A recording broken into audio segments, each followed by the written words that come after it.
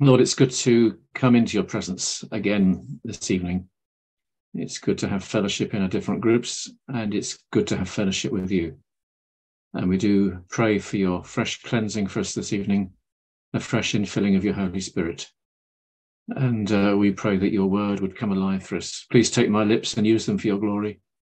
Take our ears and our hearts, our minds, and help them help us to be receptive to hear what you would say and uh, to draw closer to you, to learn to love you more, and uh, to be the people that you want us to be. And we ask it in the name of Jesus. Amen. Well, as you can see from the first slide, we've got a mustard tree, storm, and some pigs tonight. Uh, and in our last study, you may remember that we started looking at the parables that Jesus spoke. And uh, in the first part of this chapter, or this part, uh, this what we're looking at today, that continues. Um, and we saw last time that a, a, correct understanding of the parables is so important. They've been much misused over the centuries by people imposing ideas and meanings on them and miss the true point of what Jesus was teaching. But um, I think before we move on, it's worth reminding ourselves of what Jesus said was the purpose of the parables. He taught these parables immediately after he had been formally rejected by the Jewish leaders. And in uh, Mark 4 10 to 12, uh, we read this. But when he was alone, those around him with the 12 asked him about the parable. This is the parable of the sower. And he said to them, To you it has been given to know the mystery of the kingdom of God.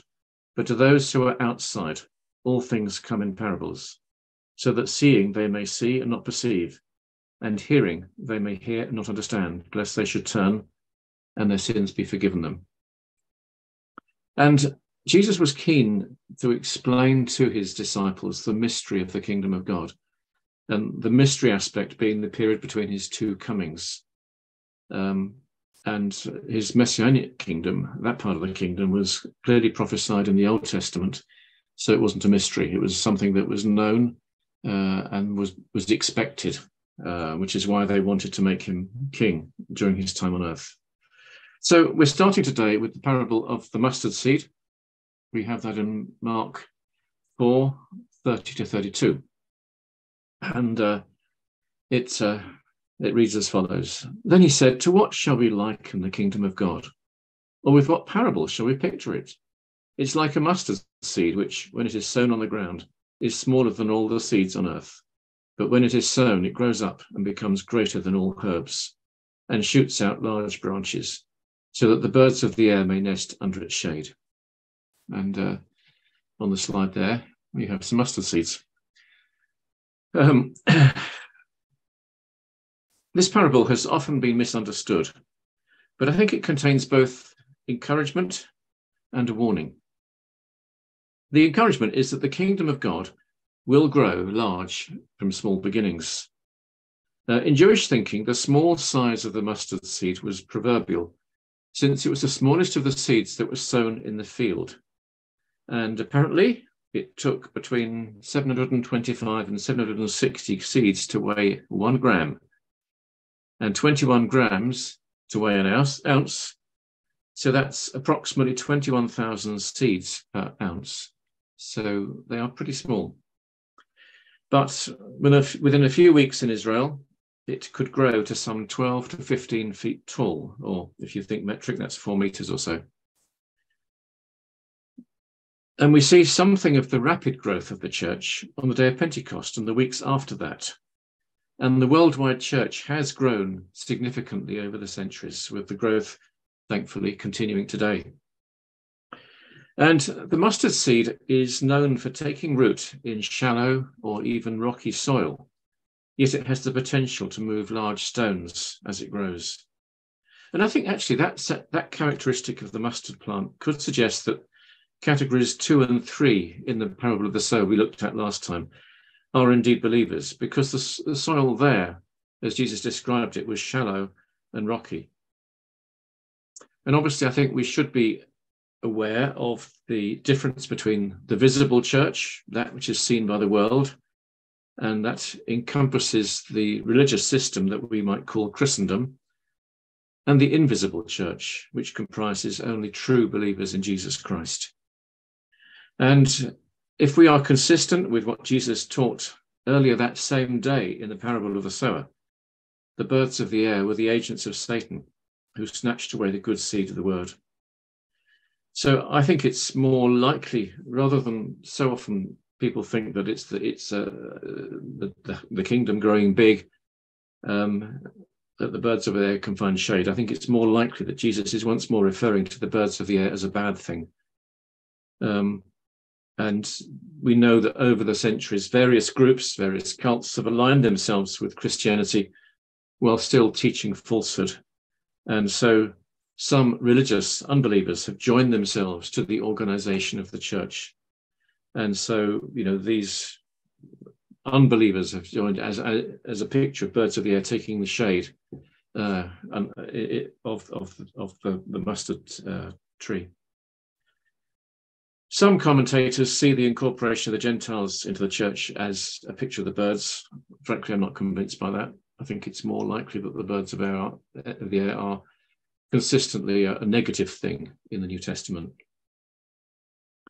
And Mark adds a comment in verses 33 to 34 uh, and says, And with many such parables, he spoke the word to them as they were able to hear it.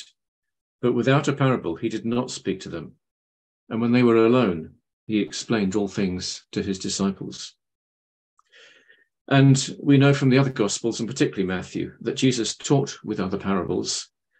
Uh, but with Mark, his, his rapid momentum means he moves on. And he summarizes the style of, of Jesus' teaching after his, his rejection by the Jewish leaders as being in parables. But Jesus explained the meaning of them to his disciples because in his love for true believers, he wants them to be well informed. And those with spiritual eyes to see are the ones who will understand God's word. And we need the Holy Spirit in our lives to help us as we study so that we do understand it. Well, Mark moves on, and uh, next he deals with Jesus calming the storm, which we read about in verses 35 to 41. On the same day, when evening had come, he said to them, Let us cross over to the other side. Now, when they had left the multitude, they took him along in the boat as he was, and other little boats were also with him. And a great windstorm arose, and the waves beat into the boat, so that it was already filling. But he was in the stern, asleep on a pillow. And they awoke him and said to him, Teacher, do you not care that we are perishing? Then he arose and rebuked the wind and said to the sea, Peace, be still. And the wind ceased, and there was a great calm. But he said to them, Why are you so fearful? How is it that you have no faith? And they feared exceedingly and said to one another, Who can this be that even the wind and the sea obey him? And we know that this occurred on the same day that Jesus was rejected by the Jewish leaders uh, that we learned from Matthew 13 1, and the same day that Jesus had taught in parables. That was, we learned that from verse 35, we just looked at. Um, Jesus had taught the people so that they might grow in faith in God. And for the disciples, now that faith was going to be tested uh, as they were in this boat on the sea. Jesus had left the multitude of people. He wanted to cross over to the other side of Galilee. And we know that geographically, the Sea of Galilee is surrounded on the east and the west sides by mountains and hills. On the west are the hills of Lower Galilee, and on the east are the Golan Heights, originally known in the Bible as Bashan. And even today, winds can rush down both sides of the mountains and stir up a storm, often quite suddenly. The Sea of Galilee is 13 miles long at its longest eight miles wide at its widest, and at this particular point, it's about five miles across. And all three Gospels that mention this incident, which is Matthew, Mark, and Luke, emphasize the severity of this storm that arose while Jesus and his disciples were in the boat. And Mark tells us in verse 37 that the waves beat into the boat so that it was already filling. And the waves must have been blowing over the side of the boat so that it was filling with water. And several of the disciples we know were experienced fishermen. They'd spent their lives on the lake, and yet they were clearly concerned for their lives. In verse 38, they told Jesus that they were perishing. In the meantime, Jesus was asleep in the boat. He knew there was nothing to fear. And at a human level, the disciples' response was to be expected. But we should note first that Jesus had expressed the intention to cross to the other side of the lake. And he, being the Son of God, he was going to get there. They needed to learn to trust Jesus in all circumstances, as we all do. And ha- but how would we have reacted if we'd been in the boat with him? Jesus hadn't promised an easy trip, but he did intend to arrive at his destination. And equally, he promises never to leave us or to forsake us, even when things get tough. Second, Jesus himself was with them in the boat, so his very presence with them should have given them reassurance. He is the very Son of God who was involved in creating the universe, and that includes the Sea of Galilee and includes the winds and the rain. And the disciples needed to learn that Jesus can handle every situation. And that's another lesson that we all need to learn. And third, the disciples should have taken notice of the fact that Jesus was perfectly at peace in the midst of the storm. He wasn't worried for their safety or his. And as Christians, we know that we are fully secure in Christ. Yes, our life on earth might end suddenly, but as believers, we have a secure future for eternity with our Lord and Savior. And that is one that is going to be far better than our life now. And in the middle of this storm, Jesus was asleep, taking a nap after a long day. I think that shows us something of his, of his humanity. He was tired. He'd done a lot that day. We should also remember it had been a difficult day. He had just been formally rejected by the Jewish leaders, despite the numerous signs that Jesus had worked to show himself to be the promised Messiah. Jesus would have known the trajectory that he had embarked upon in the light of that rejection and that it would end with his death. And yet, despite that, he could rest peacefully, knowing that all things were under his and his Father's control. And being Lord of creation, he knew that he was secure, even in a tossed and flooding boat. And all too often, our lack of faith is what causes us to panic and to fear. But that's when our eyes move away from our security in God in all situations. God is big enough to deal with our greatest fears and our worries. And being God, of course, Jesus uh, and, and God the Father, they are never asleep so that, that, that they are unaware of what we go through. Perhaps we should remember the words of Psalm 121, verses 3 and 4. He will not allow your foot to be moved. He who keeps you will not slumber. Behold, he who keeps Israel shall neither slumber nor sleep. This is not to ignore that as a man, Jesus was asleep in the boat. But as God, he was still holding the universe together. Only the divine Son of God could do that and then still the storm, as he did. Then in verse 38, uh, the disciples even questioned Jesus' care for them. They said, Jesus, do you not care that we are perishing? What a brazen statement or brazen question to ask the all powerful, fully caring Son of God if he cares. In fact, it's more of an accusation than a question. But how often do we doubt God's care for us when things seem to be going wrong? So many people accuse God of not caring when they go through difficult times. And we should remember that this was Jesus' first practical lesson for his disciples after his rejection as Messiah. And he knew that he had to teach them to trust him in all circumstances. Jesus' rejection would lead to his death, And he knew that he had to teach them to trust them. And uh, actually, for most of the disciples, it would end up the same way. They needed to learn so that they could stand firm. And thankfully, we live in a part of the world where that fate of death for the sake of Christ is unlikely for us. But we still face opposition from those who do not love God. And he lovingly wants to train us to trust him in all things. I mean, we know that things are getting harder, so opposition could well get worse. I think it's interesting that the word that Mark uses in verse 39 for be still, as Jesus rebuked the wind, it means to muzzle. It's actually much stronger than peace be still that we find in so many translations, including this one. It was sometimes used as a technical term for rebuking a demon. So it almost seems perhaps that the enemy had sent the storm as a demonic act to attack Jesus and his disciples. And if that was the case, then it was a spiritual battle between the power of God and the power of the enemy.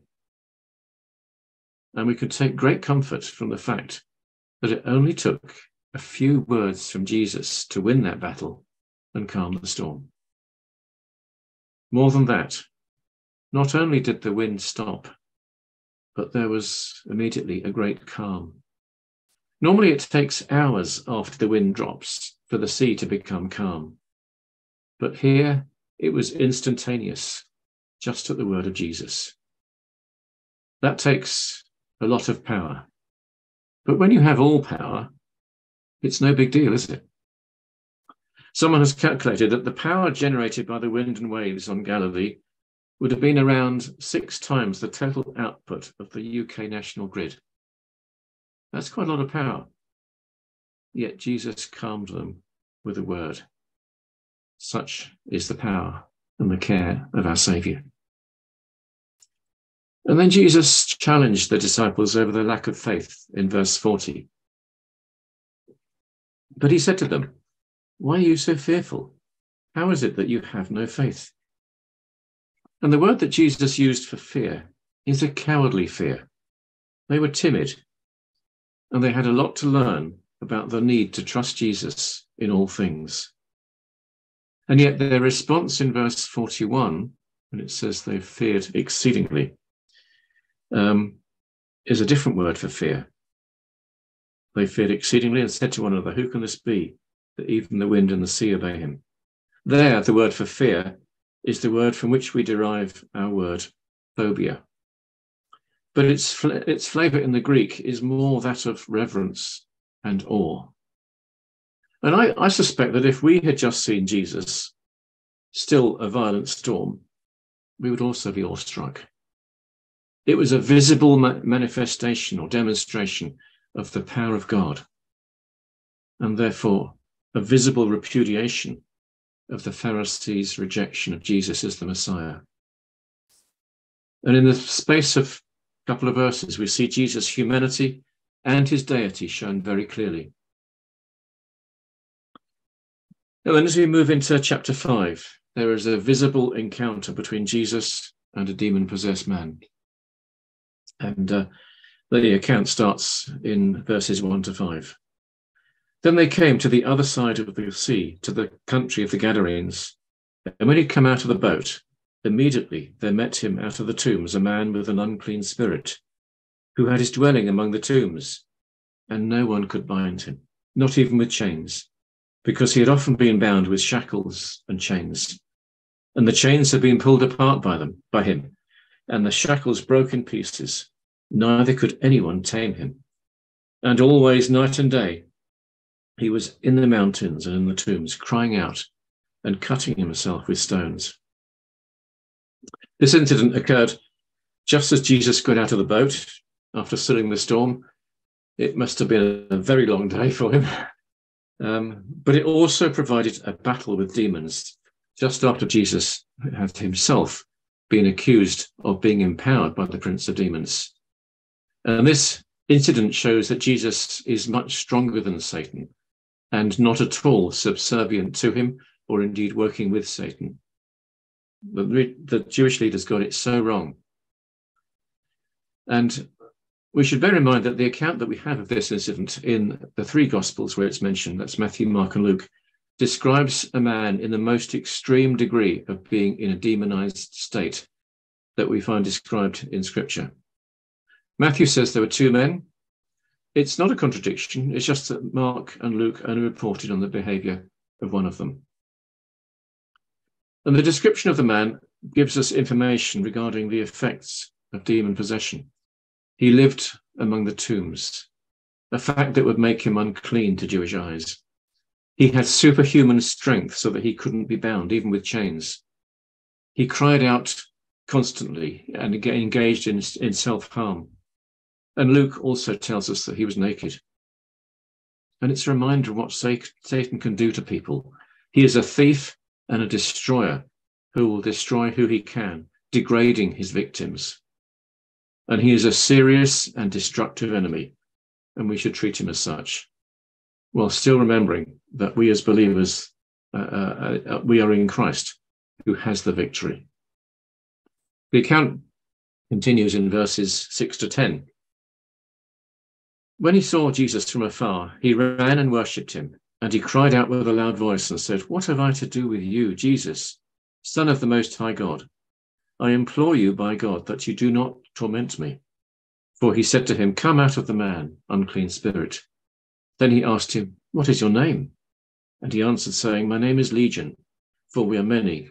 Then he begged him earnestly that he would not send them out of the country. The demons here noted the deity of Jesus because uh, it says the man or the demons within even worship Jesus. And I think it shows us that it's possible to recognize the identity of Jesus, but still not accept him as Lord. These demons knew that their doom was one of torment. Uh, we get that in Matthew 8 29. What have we to do with you, Jesus, O Son of God? Have you come here to torment us before the time? Or in uh, that, so they knew that torment was coming.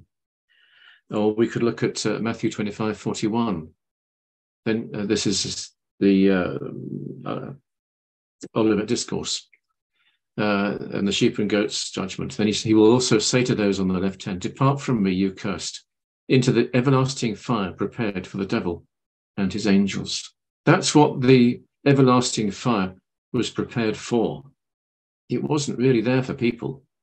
But of course, if we're going to side with the enemy, we share his fate. And back in um, the, uh, the, the Mark passage in verse 9, Jesus asked the name of the demon. That was a common Jewish form of exorcism. It's not that Jesus needed to ask that to, in order to, to achieve the deliverance that was needed. But the demons responded through the man, saying that their name was Le- their, their name was Legion, for they were many. And a Roman legion had 6,000 soldiers. So there were clearly many demons in the man. It may not mean that there were actually as many as 6,000 demons in the man, but there were certainly many and an impressive evil force. And perhaps surprisingly, the demons asked Jesus to send them out of the country presumably as a hoped for alternative to him sending them to the abyss. And we get the solution in uh, verses uh, 11 to 13. Now, a large herd of swine was feeding there near the mountains. So all the demons begged him, saying, Send us to the swine that we may enter them. And at once Jesus gave them permission. Then the unclean spirits went out and entered the swine. There were about 2,000 and the herd ran violently down the steep place into the sea and drowned in the sea.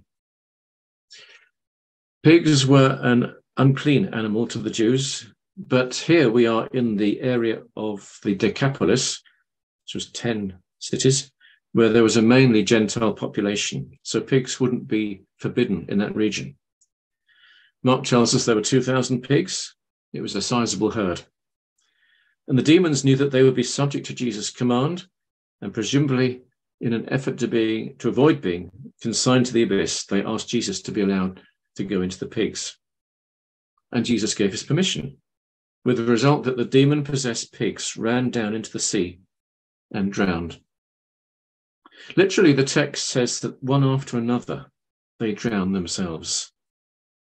The pigs may not have made any conscious choice in the matter, But it reminds us that each person must decide one after another whether to follow Christ or the devil. And the outcome for the pigs shows the destructive nature of the demons, reminding us that we must never play, we never play around with anything that's demonic. It also shows us that Jesus has full authority over the demonic realm. And it's likely that the demons would end up in the abyss, having gone into the sea in the pigs. And then Matthew, uh, sorry, Mark continues in verses 14 to 17. So those who fed the swine fled, and they told it in the city and in the country. And they went out to see what it was that had happened. And then they, then they came to Jesus and saw the one who had been demon possessed and had the legion sitting and clothed and in his right mind. And they were afraid. And those who saw it told them how it happened to him who had been demon possessed and about the swine. And they began to plead with him to depart from their region. Those who fed the swine fled. I guess it must have been a terrifying situation to witness, as the power of God in Jesus was clearly seen to be so much greater than that of the demons.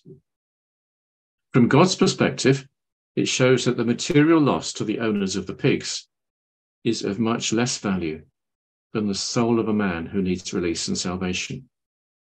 And that ought to correct our perspectives as we live in a world that is so driven by materialism. And the greater response is that the men who had fled into the city told other people, so that they in turn went out into the country to see what had happened. We don't know if they saw the corpses of the pigs floating along, but we do know that they saw the man who had previously been demon possessed, now clothed and in his right mind. We don't know where he got his clothes from. Maybe one or more of the disciples had to offer something to him to, by way of clothing. But there was no longer any threat from the man who had been who had before been so fierce and uncontrolled. God had moved in power, and yet the people asked Jesus to leave the region. They were more afraid of a free man than a possessed man. Maybe they feared further losses to their business interests. Maybe they preferred the status quo to the presence of God in the person of Jesus. And there's no biblical record that Jesus ever returned to that region. Not everybody who sees God at work will be pleased. How we need hearts that are open to God's good work in this world. And the section closes with verses 18 to 20. And when he got into the boat, he who had been demon possessed begged him that he might be with him. However, Jesus did not permit him, uh, but said to him, Go home to your friends and tell them what great things the Lord has done for you and how he has had compassion on you. And he departed and began to proclaim in Decapolis all that Jesus had done for him, and all marveled. As Jesus went to leave, the newly delivered man asked to go with Jesus, showed, showing that he wanted to become one of Jesus' disciples. But Jesus declined the request, telling the man to return home and to tell his friends what great things the Lord had done for him. He had a more important ministry among his own people than by joining Jesus' disciples. That perhaps raises the question of why this man was told to spread the good news of Jesus and what he'd done, whilst on other occasions, Jesus told people not to tell others that they'd been healed.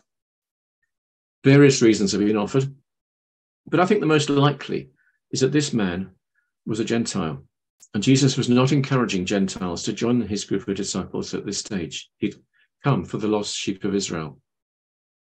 Later in this chapter, in verse 43, Jesus told a healed person not to tell what had happened. And the same occurred in chapter 7, verse 36. And Jesus' rule of secrecy appears to have applied only in a Jewish setting. In the meantime, the man went into the towns of the Decapolis, verse 20, and spread the good news of his healing, and all the people marveled. It's no wonder that they marveled, because only the divine Son of God could have cared enough and had authority enough over the demons in the man to set him free. And we've seen in this, in what we've looked at today, we've seen some dramatic examples of Jesus' power. He is still the same Lord, the same Saviour. He is still changing lives that would otherwise be lost, all because of his deep love for humanity. And we should never underestimate the significance of a life changed by the gospel of Jesus and the power of the Holy Spirit. And whether we have a dramatic testimony or a simple one, God has still worked a mighty miracle to change us. And he continues to work in our lives today to make us more like Christ. Our role is to be obedient to him, to live for him, to be available for him to use as he knows is best for us. And in the process, may God have all the glory. Shall we pray? Father God, we thank you so much for what we've looked at today. Thank you for the amazing power of God that we've seen uh, worked by Jesus. He stilled that storm. He calmed the sea with a word.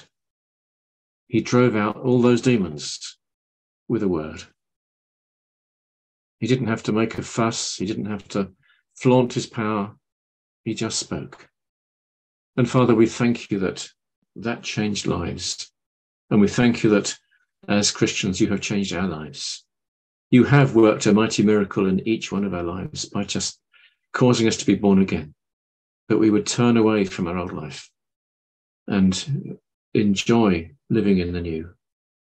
And Father, would you just so continue working in us that that we would grow in our faith, we would grow in our, our walk with you and become more like Christ each day.